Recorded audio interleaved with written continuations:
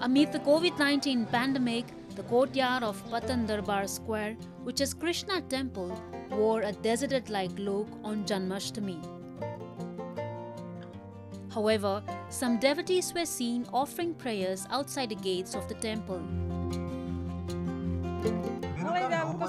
नरमाइलो लाग्यो अब के गर्नु कस्तो खल्लो लाग्यो अब यस्तै रोगले गर्दाखेरि अब भिडभाड गर्नु भएन दर्शन गर्नु पाएन त्यही खल्लो लाग्यो Krishna Janmashtami, a festival commemorating the birth of Lord Krishna, the eighth avatar of Lord Vishnu, draws thousands of devotees from Kathmandu Valley. Krishna Temple, which once housed kings before the unification of Nepal in the middle 18th century, is one of the UNESCO World Heritage Sites. The temple was opened after renovation in 2018 as it had sustained minor damages due to a devastating earthquake in 2015 which claimed thousands of lives and caused massive structural damage to the heritage sites of the Himalayan nation.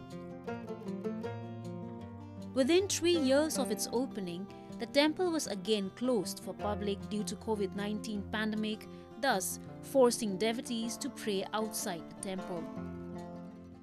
The 21 gajur Shikhara style temple in Patan was built in 1667 during the reign of King Siddhi Narasimha Malla.